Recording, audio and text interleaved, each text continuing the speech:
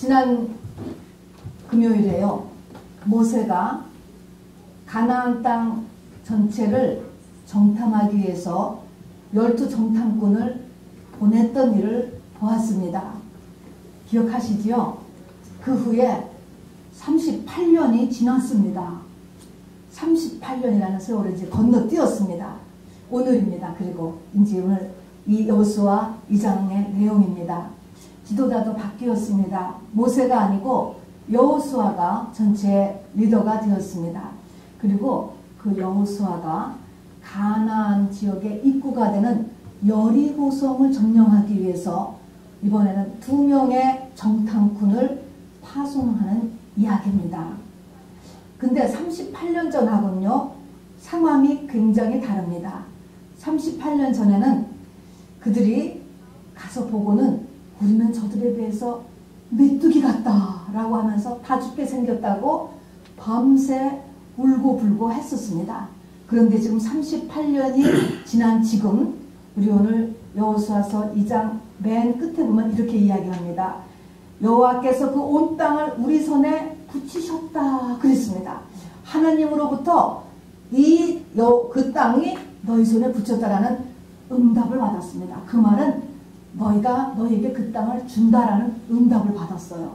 그래서 아주 당당한 상태에 지금 있습니다. 그래서 오늘 이제 여호수아 이장에서 이런 당당한 마음을 가지고 두 명의 정탐꾼이 여리고로 파송돼요.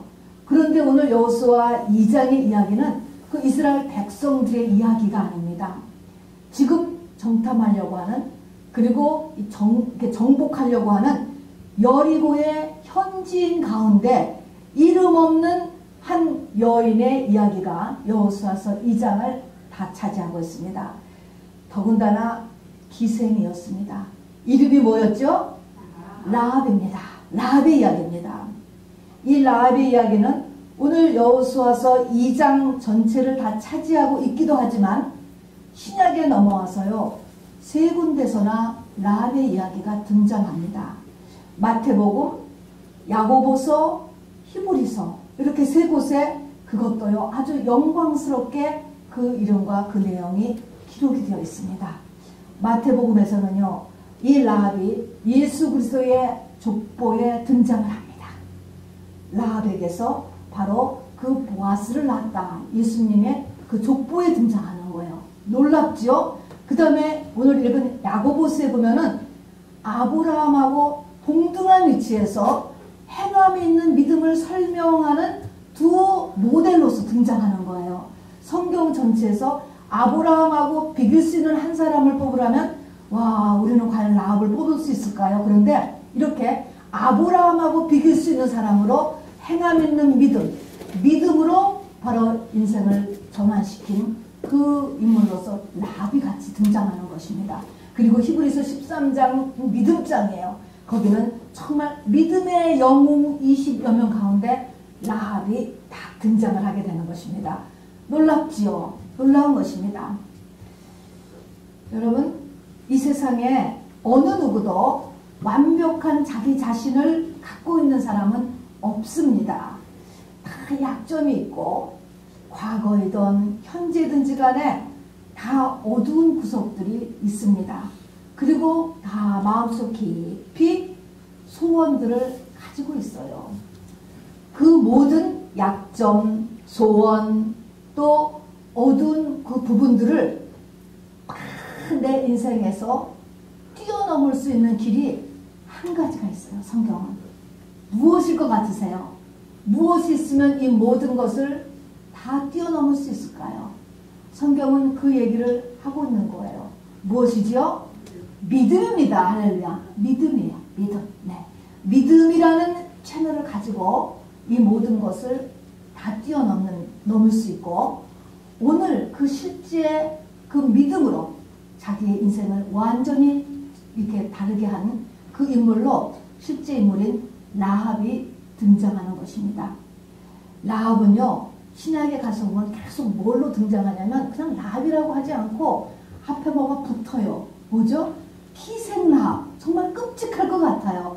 기생라합이라고 계속 붙어오는 것입니다. 자, 왜 신약성경에 들어와서 기생나업 정말 끔찍한 그 기생납 신분이잖아요. 신분. 어, 기생납이라는 것이 붙어 다니는가. 당시에 여자는 숫자에도 치지 않았을 뿐만 아니라 이방인이었어요. 이 여리고의 현지이니까 이방인은 개 취급을 했지요. 또 거기다가 기생이라고 하니까 뭐 거의 짐승 수준이죠. 그런데 이렇게 여기 이 기생 라합이라는 것을 끝까지 붙이는 이유는 뭐냐? 이 라합이 이게 지금 사람이 우리는 미국에 사니까 잘 못 느껴요. 신분이라고 하는 거는요. 한 맺히는 게 신분이에요. 신분. 음. 그런데 이, 한, 이 바닥에 바닥에 신분인 라합이 족보가 라합의 신분이 뭘로 바뀝니까? 다윗 왕의 족보로 바뀌는 거예요. 이스라엘 민족의 중에서 왕 중에서도 왕의 족보 중에서도 가장 존경하는 왕이 다윗 왕이거든요. 어, 기생 라합이 물론 그 당대에서 한 건 아닙니다. 4대로 내려가잖아요. 내려가서는 어쨌든 다윗 왕가가 되었습니다. 그 집안이. 우리 집안이 그렇게 밑바닥 집안이었는데 우리 집안이 가장 존경하는 왕의 집안으로 바뀌었다는 것입니다. 이게 이 랍이 이루는 것입니다. 두 번째로 보면요. 그 다음에는 이 땅의 뿐 아니고 영생의 문제가 있잖아요. 마태복음 1장에 예수의 선조로 등장했다. 이 말은 저 천국에 가서 새 에루살렘 성에 사는 사람을 이야기하는 것입니다. 지금 이 시간에도 아마 이, 이 땅에서의 기생 나합은 저 하나님 보좌 우편에서 왕권을 누리며 예수님의 신부로서 행복의 극치와 만족 속에서 살고 있을 것입니다. 그걸 영생이라고 하잖아요. 이 땅에 태어난 최고의 가치입니다. 보람입니다. 할 일을 정말 다한 것입니다. 라합은 영생을 얻었습니다. 그 다음에 우리가 알다시피요. 여리고성이 이제 이스라엘 민족에 의해서 다 무너지잖아요. 다 멸망당해요. 다 멸망당하는데 여기서 라합과 그의 가족만이 살아남습니다. 놀라운 것입니다. 한 여자의 믿음으로 인하여서 가족이 다 같이 살아나요. 다 같이. 자기 가족을 구원한단 말입니다.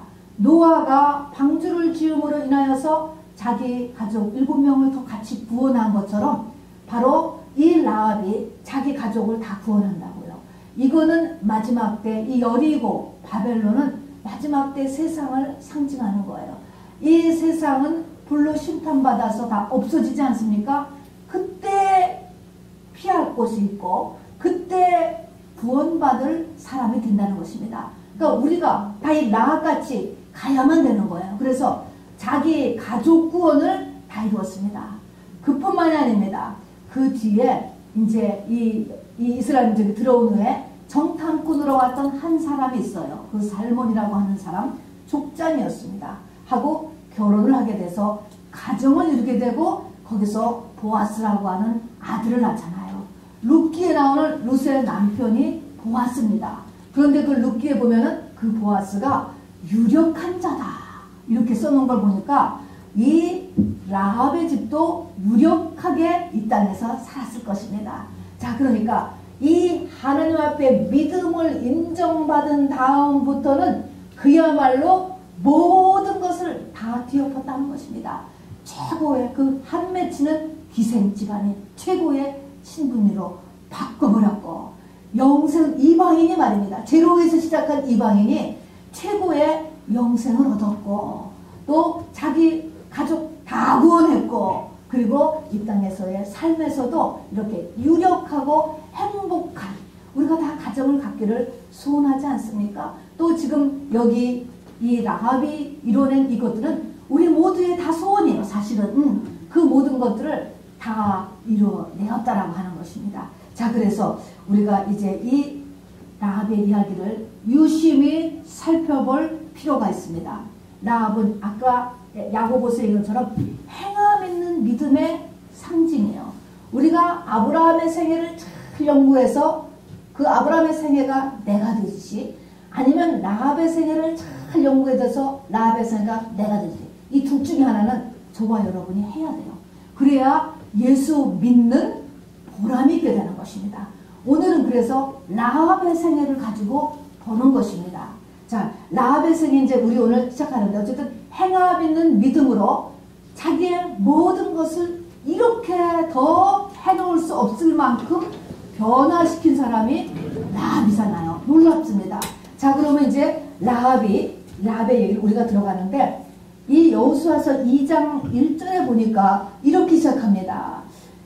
이 두 정탐꾼을 보내면서 그 땅과 여리고를 엿보라 하며 두 정탐꾼을 여호수아가 보내는데 그들이 가서 라합이라는 기생의 집에 들어가 거기서 유숙하더니 이렇게 시작을 해요. 여러분 이 절 때문에 2장 1절에 이절 때문에 말이 많은 거예요.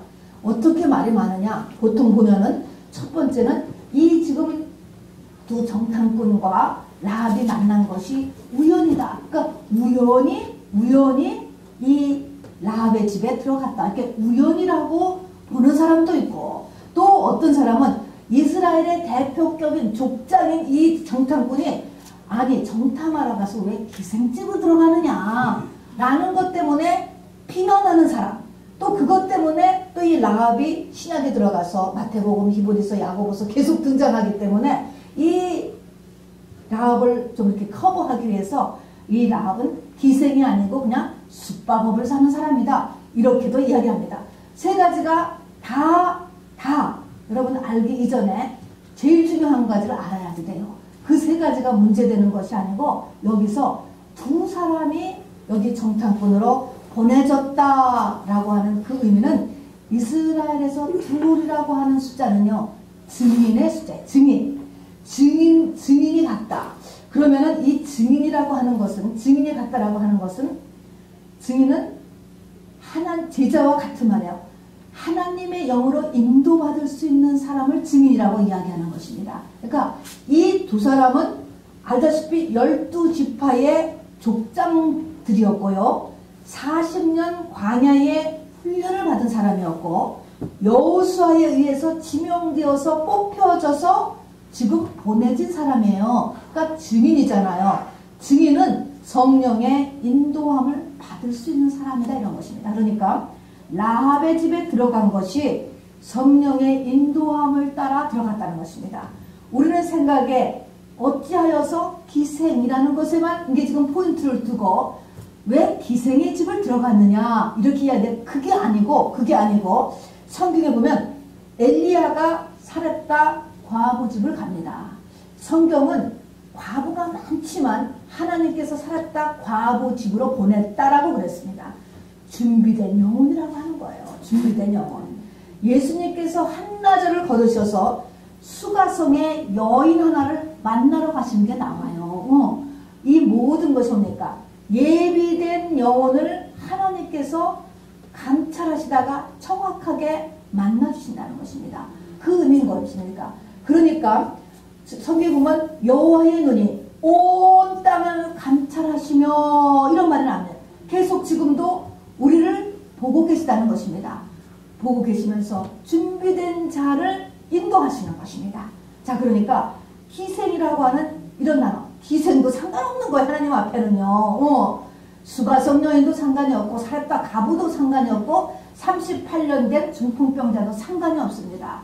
하나님의 보시기에 준비된 그 영혼이 되었을 때 하나님의 사람을 보낸다는 것입니다. 자 그래서 여기 두 정탐꾼이 기생의 집에 들어갔다라고 하는 것은 이것이 하나님이 준비된 영혼으로 이렇게 연결한 것이다 라고 하는 것을 이제 우리가 알아두시기를 바랍니다. 자, 그러면 이제 라합의 인생 역전이 어떻게 시작되는가 보세요. 항상 이제 믿음, 믿음이 우리의 모든 인생을 역전시키는 거라고 했는데, 믿음은 뭐에서 난다고 했죠? 들음에서 난다고 했습니다. 들었습니다. 여기서도 이 라합이 듣는 거예요. 여리고에 있었지만 이스라엘에 대한 소문이 막 들려오기 시작했습니다. 특히 변방이기 때문에 이 가나안 땅에 이 입구기 때문에 그 이스라엘의 소문이 들려왔습니다. 여러 번 들었어요. 근데 들은 사람은 람만 들은 게 아니에요. 여러 사람이 다 같이 들었습니다. 그 내용은 여기 있는 그대로 그 지역에서 가장 강한 나라가 애굽이었는데 그 애굽의 바로 왕을 세상에 열 가지 재앙을 함으로 인하여서 꼼짝 못하게 하고 거기를 200만 가까운 사람이 나왔다는 것입니다. 세상에 물이 어떻게 피로다 변하기도 하고 흑암이 깔려서 해가 없어지기도 하고 세상에 장자를 더 죽이기도 하고 그러더니 또 나올 때는 홍해 바다를 가르고 바다 밑을 걸어 나온 민족이더라. 그리고 최근에는 우리 가까이 있는 요단 저 바로 건편에 있는 강력한 아모리 족속 알지 않아? 그 아모리 족속의 시온 왕 옥이라고 하는 왕을 처참하게 죽이고 전멸시켰다라고 하는 이야기를 들으면서 그들이 전부 다 마음이 높고 정신이 나갔다 그랬습니다. 아주 그 얘기를 들으면서 정말 입이 딱딱 벌어지게 그 이야기를 다 들은 것입니다. 들었어요. 다 들었다고요. 자, 정말 은혜가 충만한 거죠. 엄청 은혜가 충만한 거예요. 문제는 이제 은혜가 충만하는데 어느 정도로 은혜가 충만하느냐가 매우 중요합니다. 어느 정도로 은혜가 충만하냐. 우리 다 하나님의 말씀 많이 들었잖아요. 설교도 듣고 말씀도 있고 그 다음에 말씀에 들어서 깨달음도 있고 은혜도 받으셨어요 여러분. 자 이것이 어떻게 돼야 되느냐 하는 것입니다. 그 다음에 무슨 일이 나냐. 내가 은혜를 받았으면 그 다음에 하나님이 하시는 일이 꼭 있다는 걸 알아두셔야 돼요. 믿음이라는 거는 반드시 테스트를 받는다는 것을 알으셔야 돼요. 하나님이 시험을 하셔요. 어. 자 그러면 내가 은혜를 받았습니다. 나에게 깨달음이 왔습니다. 많이 듣고 와 그러면 이것에 대한 하나님의 시험이 바로 그 사람한테 다가온다는 걸 아셔야지 돼요. 시험이 말입니다. 자 그래서 이스라엘 민족이 38년 동안 광야를 돌았는데 광야를 도는 것을 엄밀히 말하면 뭐냐면 시험을 계속 떨어졌어요. 자기가 시험을 보는 줄도 모르는 거야. 그것이 문제예요. 이것이 시험이구나라는 것을 모르는 거야. 여기 지금 두 정탐꾼이 온 것도요. 시험을 한 거야. 시험. 음, 테스트라는 말입니다. 이 시험을 하러 온 것을 이제 이것을 그냥 모르고서 이제 계속 떨어졌단 말입니다. 왜 그러냐면요. 신명기 8장 2절에 보면은 광야 생활 38년을 요약하면서 모세가 이렇게 이야기합니다. 너희가 40년간 광야 길을 걷게 하신 것을 기억하라. 너희를 낮추시며 너희를 시험하사가 바로 나오는 거예요. 테스트하는 거예요. 믿음의 조상 아브라함도 언제 대적의 문을 취하여서 믿음의 조상으로서 쓰기 시작했습니까? 창세기 22장에 아브라함의 독자 이삭을 바치라는 것이 뭐라고 그랬습니까? 시험이라고 했습니다. 하나님께서 아브라함을 시험하사 테스트 테스트 우리에게 테스트가 우리의 삶 가운데 계속 온다고 하는 것을 여러분 잊지 마시기 바랍니다. 시험을 합격하면 어떻게 되는 거예요? 진급하는 거예요. 점점 나를 가로막는 여리고성 같은 홍해 같은 요단강 같은 장애들이 산들이 무너지는 것입니다. 여러분. 이것이 믿음이 올라갈수록 나를 가로막는 문제는 내려가는 것이죠. 그런데 그 믿음은 그 힘을 가진 그 믿음은 바로 시험을 받은 다음에야 이 땅에서 액티베이트가 된다라고 하는 사실인 거예요. 자, 그래서 시작은 말씀을 듣는 데서 시작해요. 그 다음에 그 말씀을 내가 은혜 받고 깨닫고 나의 영에 집어넣어야 되잖아요. 자, 그래서 영에 이렇게 집어, 영에 집어넣는다 또는 잘 박힌 못이 된다 또 마찬가지겠습니다. 어쨌든 그렇게 되었다. 아, 제가 이제 된 것 같으네? 그러면은 그 다음에 무엇이 온다고요? 테스트가 온다라고 하는 사실인 것입니다. 자, 그러면은 테스트가 왔는데 이제 테스트가 왔습니다. 라합이 우리가 라합이 이야기를 읽어보면 라합이 여기에 나라를 배반해요. 자기 나라에 자기 나라를 점령하려는 이 적군이 오는데 이거를 정탐꾼을 간첩을 숨겨주는 거예요. 또 숨겨줄 뿐만 아니라 자기 나라 정부군이 경찰이 자기 집에 들이닥쳤을 때 그 경찰을 빼돌려요. 그 다음에는 이 정탐꾼이 나중에 찾아서 떠나게 할 때도 그 직접 가지 말고 지금 이 경찰들이 깔렸으니까 사흘 동안 숨어 있다가라고 가르쳐줘요. 누구 편이에요? 누구 편? 이건 완전히 적편이잖아요. 어, 그런데 적편인데 이제 이러, 이렇게 이 라합이 그런 그런 일을 이렇게 하게 되는데 라합이 왜 그랬을까? 왜 자기 나라를 배반했을까? 그리고 나라를 배반한 거를 왜 성경에다가 써놨을까라는 것입니다. 라합은 이 그 많은 그 믿음의 이야기를 들으면서 라합은 어떻게 했냐면요. 그 말들이 그 말들이 땅의 것을 넘어서 2층 천을 이 땅에는 1층 천이야. 그 다음에 2층 천을 넘어서 3층 천으로 들어간 거예요. 말이 이상하죠. 영에 어떻게 뒤집어 쓰였다고나 할까? 그런 것입니다. 그것이 자기를 다 감쌌습니다. 그 이야기가. 이런 상태가 우리가 되어야 되는 거예요. 그러면 그렇게 하나님의 영, 어떤 신이죠. 영의 영이 자기께 뒤집어 씌웠을 때 이 땅의 모든 것을 다 그 스스로가 넘어가게 되는 거예요. 그것이 문제가 안 되는 상태가 있단 말입니다. 그래도 하나님은 그것을 테스트해요. 전 진짜 그런가 안 그런가. 우리가 보면은 이 거짓말을 하지 말라든가 부모를 공경하라든가 자기가 속한 나라를 참 잘 섬겨야 되는 거는 이 지구상에 그리고 인류에서 어느 민족 어느 사람이건 간에 태어나서부터 기본 교육이에요. 그것을 다 교육받고 자라는 거예요. 누구나 다 집안을 잘하고 부모한테 잘하고 또 자기가 속한 나라를 잘하는 것은 다 그렇게 배우는 거예요. 그런데 우리가 가끔 기독교에서 보면은 집안에서 쫓겨나는 사람들이 있어요. 스스로 집을 나오잖아요. 어, 집을 나와. 그래서 그 사람은 나쁜 사람이냐고, 어, 악한 사람이냐고. 그런데도 집을 나오, 가출하는 사람이 있어요. 어, 이 믿음 때문에. 또 여기 같이 나라를 세상의 눈에 보면 배반하는 거잖아요. 이런 일이 일어난다는 것입니다. 이것이 영적인 것이고요. 이것을 이런 세계가 있다라는 것을 성경이 이야기해요.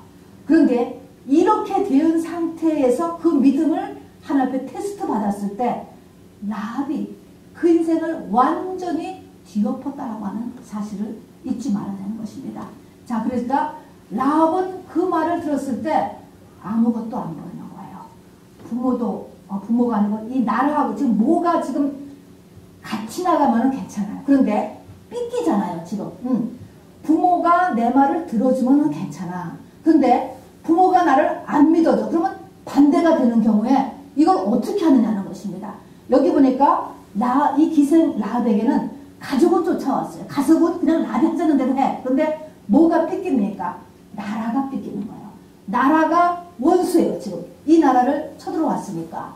이 가나, 이 지금 이 여리고는 죄악이 가득 차서 하나님이 멸망할 때가 돼서 멸망시키는 거예요. 어쨌든 세상의 눈으로 보면은 지금 서로 부닥치는 거야. 같이 가는 선이 아니라고. 이렇게 됐을 때 라합의 눈에 애국자의 그 애국하는 것보다 그 하나님에 대한 것이 훨씬 더 중요하게 더 뭐더 뭐, 계산할 수 없을 만큼 강하게 라합의 온 몸을 감쌌다라고 하는 사실인 것입니다. 그런 라합이에요. 그 라합을 이제 하나님께서 그 믿음을 테스트 하시려고 두 정탐꾼을 그 집에 보냈다라고 하는 것입니다. 하나님은요, 어떻게 하든지 간에 우리를 복 주시려고 해요. 우리가 여러분 자식을 잘 되기를 원치 않습니까? 어찌하든지 간에 우리를 복 주시기를 원하신다는 것을 잊지 마시기 바랍니다. 되기만 하면 더군다나 지금 이 시대에 예수 그리스도인에서 다 이루었다 끝났습니다. 요만큼만 틈만 있으면 복이 우리 속에 정말 물밀 듯이 막 스며들어오고 싶어서 어쩔 줄을 모르고 있는데 누가 맡고 있어요? 내가 맡고 있는 내가 다 맡고 있는 것입니다, 여러분. 자, 그래서 오늘 이제 이렇게 이 라합이 이렇게 정탐꾼을 숨겨주고 또 정탐꾼을 자기 나라 경찰을 빼돌리고 또 그 정탐꾼에게 도망가는 방법까지 가르쳐 줬다 라고 하는 이 사건에서 이제 라합의 이 믿음이 그리고 우리의 우리가 하나님이 원하시는 그 믿음이 어디까지인가라는 것을 한번 잘 보시기 바랍니다. 이 산 같은 모든 문제를 무너뜨리는 그 믿음은 어떤 믿음인가? 그야말로 하나님 일순이죠. 하나님 일순이 그렇게 되는 것입니다. 여러분 같으면 정탐꾼이 왔어요. 간첩이 왔습니다. 왔으면 왔는데 그게 정탐꾼인지 알았어. 뭐 이제 뭐 여기 기생이니까 또는 숙박이라고 해도 좋아요. 적이 왔으면 이런 상태에서 어떻게 할 것 같아요? 어떻게 할 것 같아요? 적군이 왔어. 적군이 여러분의 집에 왔어. 그런데 한번 라합의 입장을 한번 생각해 보라고. 적군이야. 적군은 적군인데 지금은 라합은 그 신이 강력한 신이고 어. 여기 아까 고백을 하잖아요. 상천하지에 하나님이시다. 이 말은 정말 그 당신 이스라엘이라고 하는 민족이 있는 그 신이 참신이다. 진짜 신이다. 하나밖에 없는 신이다. 이것에 대한 확신이 든 거예요. 어. 그 선신이 이렇게 확신에게 들어, 들어왔는데 라합은 뭐 두말할 것 없이 그 신편이야. 그, 근데 여러 번 같으면 어땠을까 한번 하는 거를 저는 한번 생각해 보라는 거예요. 왔단 말이에요. 어, 이렇게 왔을 때. 그냥 방이 없다. 아니면 이제 영업이 클로즈 했으니까 그냥 다른 곳에 가보라고. 문제가 되니까 내보낼 것인지. 근데 여기서 라합은 그들을 영접했다 그랬습니다. 영접했어요. 자, 그런데 두 번째 2장 2절에 보니까 이게 지금 또 시험인 거예요. 영접을 했는데, 들어왔는데, 금방 여리고의 왕에서 왕이 경찰을 금방 보낸 거예요. 그 집에 들어갔다. 니네 집에 첩자가 들어갔다. 내놓으라는 것이 바로 들어오는 거예요. 얼마나 무섭습니까, 여러분? 알았다는 거예요. 니네 집에 어, 몰랐다가 아니고 너네 집에 들어갔다는 거, 들어갔으니까 내놓으라고 왔습니다. 이렇게 했을 때 또 어떡하냐는 거예요, 여러분. 여기서 어떡하냐. 이 라합이 왜 이렇게 당신의 인생을 완전히 바닥의 지위에서 최고의 가문으로 바꿀 수 있었는가? 그리고 지금부터 이 땅에서부터 영생까지를 완전히 뒤바꿀 수 있는가에 이 라합이 하느님을 어떻게 취급했는가라는 것을 보라고 지금 몇 개의 성경에 써 있는 거예요. 2장 1절에서는 자기 집에 적이 왔어. 근데 그 적은 보니까 잘 가면은 그 신의 사람들이에요. 어. 근데 두 번째는 그냥 지나갔으면 모르겠는데 자기 나라 폴리스가 쫓아왔다고 자기 집으로 내놓으라는 거야. 내놓으라는 거야. 이제 뭡니까? 정말로 잘못하면 자기 목숨 날아가는 거예요. 어, 그대로 죽는 거지. 그렇게 했을 때 목숨을 내걸고가 여기 나오는 거예요. 그래서 바로 이 라합이 따돌리는데 그 두 정탐꾼은 지붕 위에 3대에다 숨겼다. 3대는 아마 같은 농작물이에요. 그 말린 농작물 속에 숨겨놓고 내려와서는 하는 말이 오기는 왔는데 날이 이렇게 어두워지니까 나게 가더라. 그러면서 갔으니까 조금 있으면 성문이 닫힌다. 당시에는 성 안에 살았으니까 성문이 닫히면 오도 가도 못하는 거예요. 더 어두워져서 성문이 완전히 닫히기 전에 빨리 가서 쫓아가면은 잡을 수 있을 것이다. 그렇게 얘기 따돌리는 거죠. 그러니까 그 사람들이 불이 나게 성문으로 쫓아가 버렸습니다. 그러니까는 폴리스를 갖다가 따돌렸어요. 여러분 얼마나 가슴에 두근반, 세근반 했겠습니까? 자, 그래서 따돌리는 거, 그 다음에는 이제 세 번째는 뭡니까? 그 다음날 바로 그 정탐꾼을 보내는데, 당 보내는데, 바로 직접 나가지 말고 어디 사흘 동안 산에 숨어 있다가, 지금은 다 깔렸으니까, 숨어 있다가, 그 다음에 일을 보라. 라고 이렇게 이야기를 해주는 것이 나옵니다. 그런데 그때 이 라합의 마음이 어땠을까라는 것입니다. 그때 라합의 마음이 어땠냐면 이 정탐꾼들을 사흘 여리고 산속에 숨어 있다 가라고 이렇게 얘기할 때 사흘을 숨어 있다 가라 이런 말을 해요. 이 사흘이라는 단어가 성경에서는 굉장히 중요한 단어예요. 무슨 사흘 하면 우리가 뭐가 생각합니까? 예수님이 무덤 속에서 사흘 있었던 거. 무덤 속을 이야기하는 것입니다. 죽는 것 같은 마음인 거예요. 무덤 속에요. 아무 소망도 깜깜한 얼마나 답답하겠어요. 무덤 속을 이야기하는 것입니다. 그러면 이 정탐꾼 둘도 이 지금 여리고에 와서 폴리스가 짝 깔린 상태에서 산속에 숨어있는 사, 사흘이 얼마나 가슴이 저리게 죽는 것 같이 그리웠겠잖아요. 그런데 그 말을 해주는 라합의 마음도 사실은 무덤 속이라 이 말인 것입니다. 서로 이렇게 상징적으로 얘기하는 거니까 이렇게 지른 일을 진행을 하면서 이, 이 라합이 그냥 될 대로 되라 한 게 아니고 라합의 간도 쪼리고 쪼리고 쫄았다라는 걸 이야기하는 거예요. 목숨을 내 걸고 자기에게 지금 임한 그 신 편을 드는 것입니다. 그 신에 속한 사람들의 그 편을 드는 것이죠. 우리의 24시간 삶 가운데 자기가 은혜 받고 깨달은 것이 편안하는 거예요. 이것이 바로 이것을 행함 있는 믿음이라고 이야기하는 것입니다. 거기는 나하고 부닥치는 일도 있고 어, 부닥치는 일도 있어요. 그것이 더 심해져서 내 목숨을 내놔야 될 만한 일도 있다는 것입니다. 짧은 기간이지만요. 행함 있는 믿음이라고 하는 것이 얼마나 어려운 일인가. 우리가 행함 있는 믿음이라고 할 때 이 많은 말씀 가운데 24시간을 내가 살면서 할 수 있는 것만 하면 사는 거는 누가 못해요. 할 수 있는 것만 하면.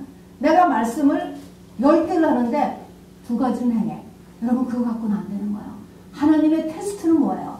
자꾸 그 말씀을 이렇게 뒤다 밀어, 이렇게 뒤다 밀어. 어, 현실하고 안 맞는 것을 뒤다 민다니까 그 뒤다 미는데 어디까지 가요? 목숨을 내놓는 데까지 뒤다 밀고 나라를 배반하는 데까지 뒤다 미는 것. 여러분 나라를 배반한다는 거는요.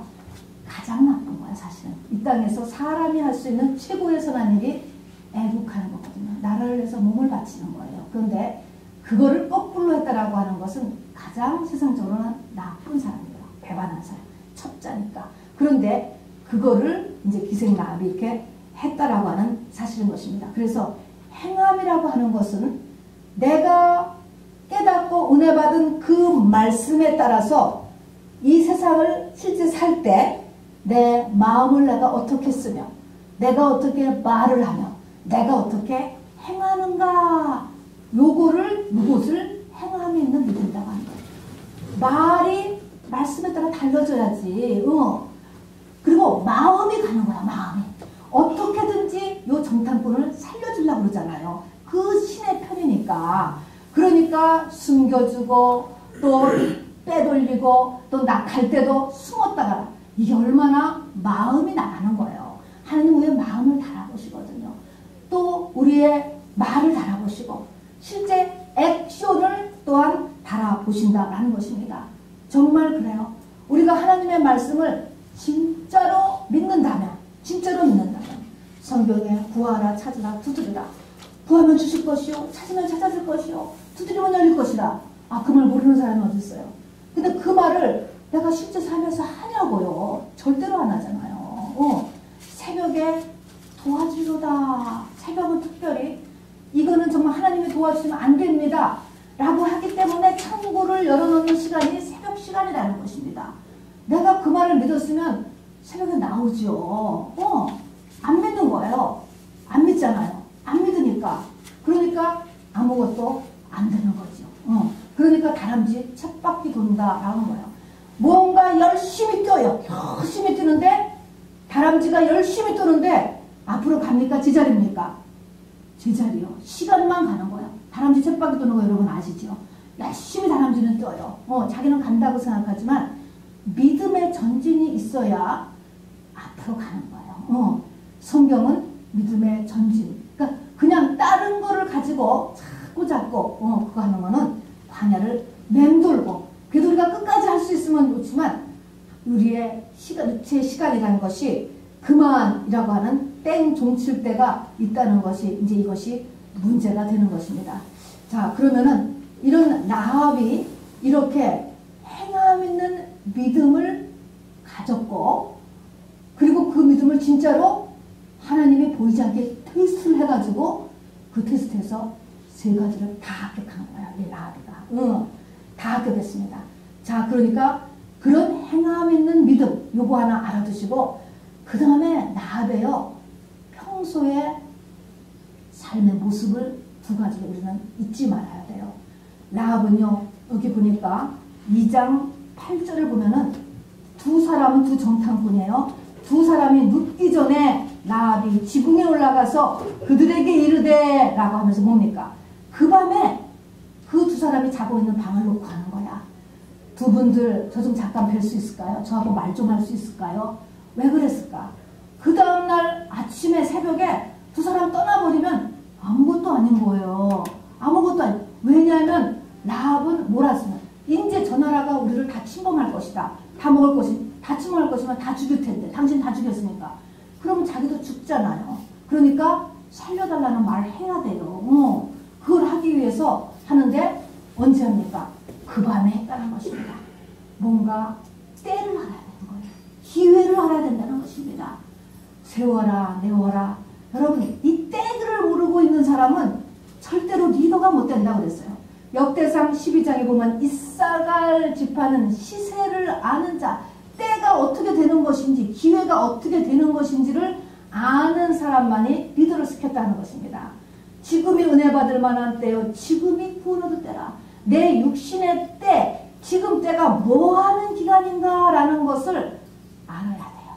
이 라합이 그걸 알았어요. 자, 그래서 그 밤에 올라가서 단판을 친 거예요. 내가 당신을 상대했으니까 당신도 나를 살려주고 나를 살려준다는 표적을 달라라고 이야기하는 것입니다. 그러니까 붉은 줄을 매라 라는 이야기를 하는 것입니다. 붉은 줄. 그거 하나 받은 거예요.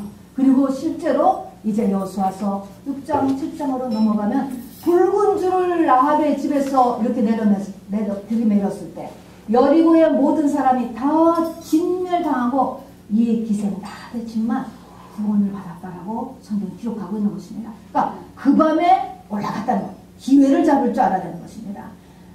나는 내가 하고 싶으면 하면 모든 것이 기다리고 오픈되어 있는 게 아니에요, 여러분. 기회도 시간도요. 늘 있는 게 아니고 나도 이 땅에서 수백 년 사는 게 아니라고 하는 사실을 잊지 마시기 바랍니다. 가능한 한 빨리 빨리 빨리 여러분 믿음의 사람으로 변해야 됩니다. 자, 그 다음에 세 번째는요. 여기 가서 단판을 하는데 이 라합이 이 두 정탐꾼한테 가서 나와 내 아버지 집을 살려달라고 이야기하는 거예요. 여러분 가족 구원의 중요성인 것입니다. 가족에 대한 책임감이 있어야지 돼요. 성경 보면은 주 예수를 믿으라 그리하면 너와 내 집이 구원을 얻으리라 분명히 약속했습니다. 이 말씀을 붙잡고 우리는 가족 구원을 늘 마음에 담고 기도와 기회를 봐서 전도할 기회를 늘 이렇게, 봐야 되는 것입니다. 어쨌든 그걸 마음에 두고 있어야 돼요. 그리고 기도해야 되죠. 우리는 지금요. 그러니까 이것이 늘 마음에 있었어요. 그러니까 이 기생날이요. 또 얼마나 훌륭합니까? 어, 그래가지고 자기 가족 다 보내달라고 하니까 오케이 그랬습니다. 그 전쟁이 이제 시작이 됐을 때 니네 집에 들어오는 사람은 다 구해준다라고 했습니다. 그러니까 친척 다, 다 이렇게 오는 사람은 다 살아남게 되었습니다. 자, 그래서 그런데 이제 그 살아나는 표가 뭐냐 하면은 붉은 줄이라고 하는 것입니다. 붉은 줄. 하필이면 붉은 줄이라고 했을까? 상징적인 것입니다. 그리고 우리는 나를 살려준다는 표를 달라. 이 말을 합니다. 표다. 붉은 줄이다. 인이다. 무엇일까요? 십자가입니다. 십자가. 예수입니다. 예수.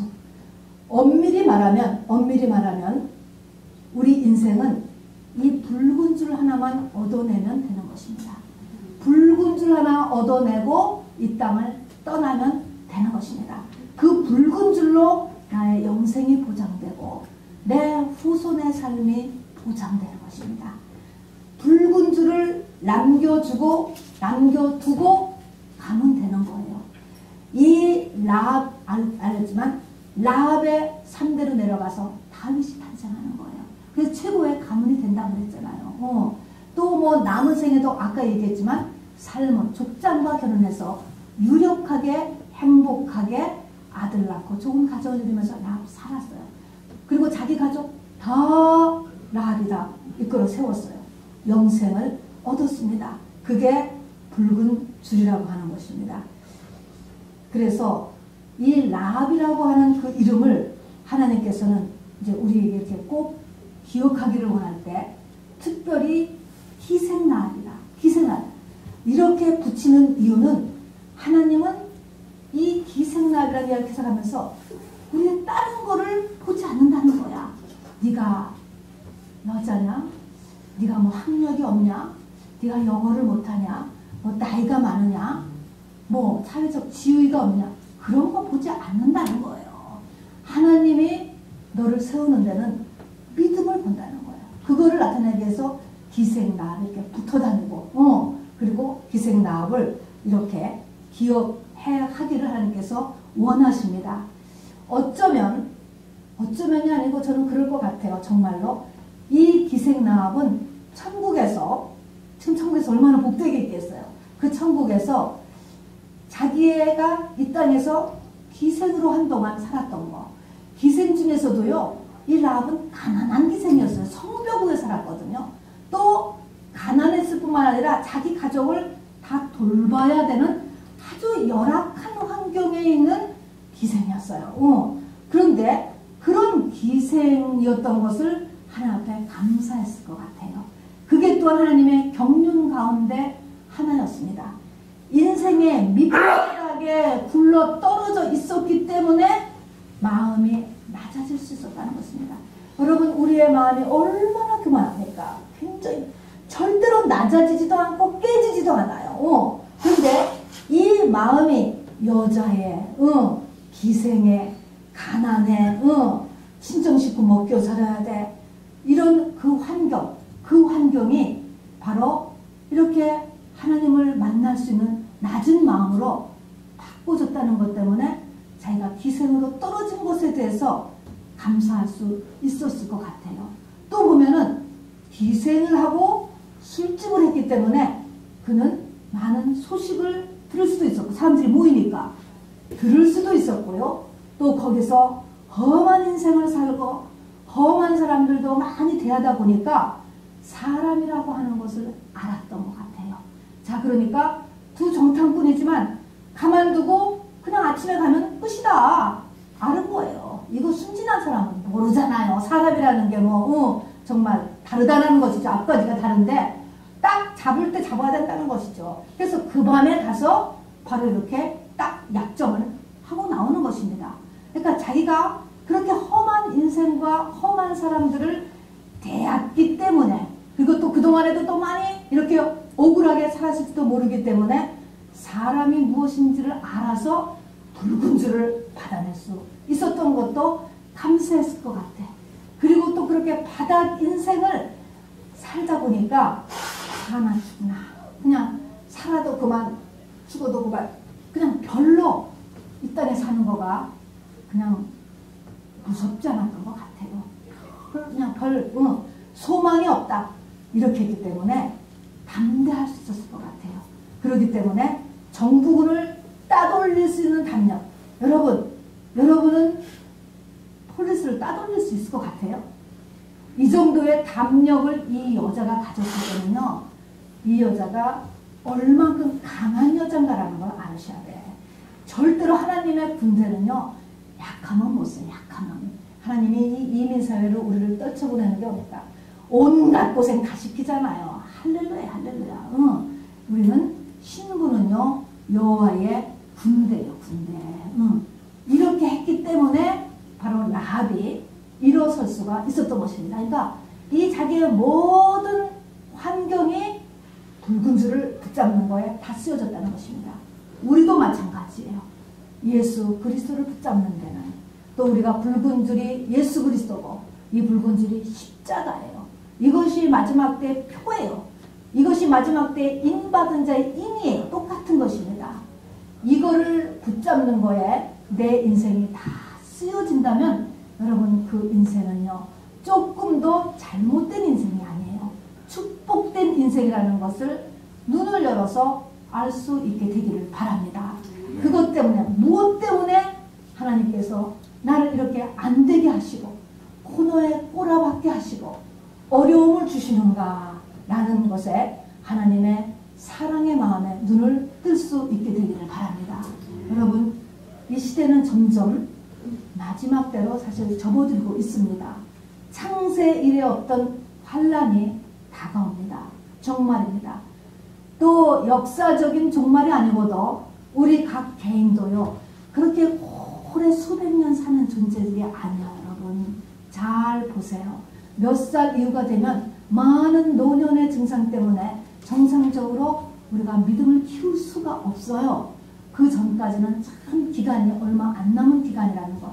또 그 기간 중에서도 우리가 존재하기 위한 기본 먹는 것, 자는 것 이런 것들을 하고 나면 우리의 시간이라는 것은 참 얼마 안 되는 기간이에요.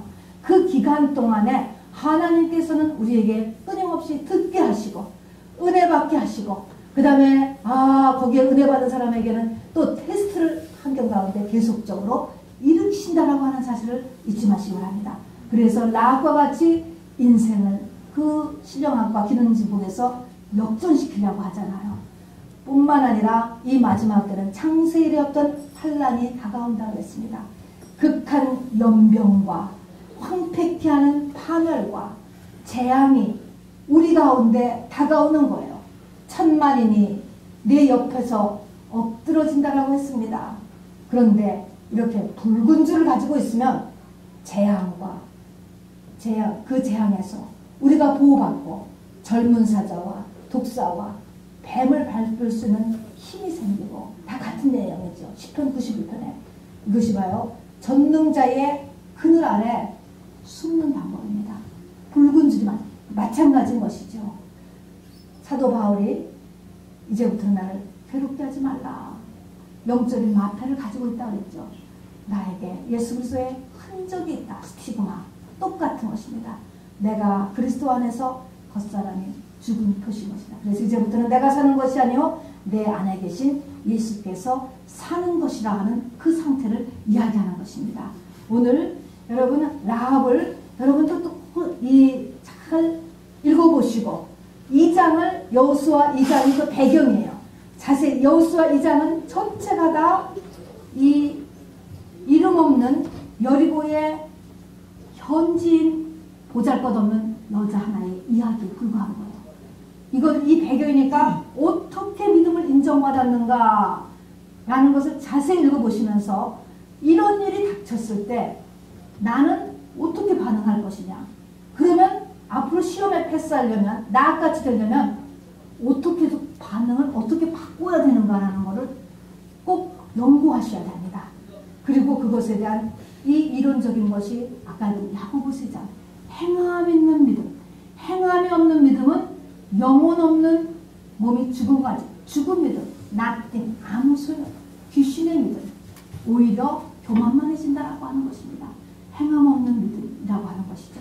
자 그래서 그 야고보스 1장의 말씀과 또 그래서 오늘 요소 1장의 이 배경을 보면서 이렇게 되니까 마태복음 1장에 예수의 족보가 되었고 히브리서 13장의 믿음의 영웅에 들어가더라 라는 것을 실제 보면서 그것을 위해서 오늘 다른 박질하는 저와 여러분 되기를 주님의 이름으로 축원합니다. 네.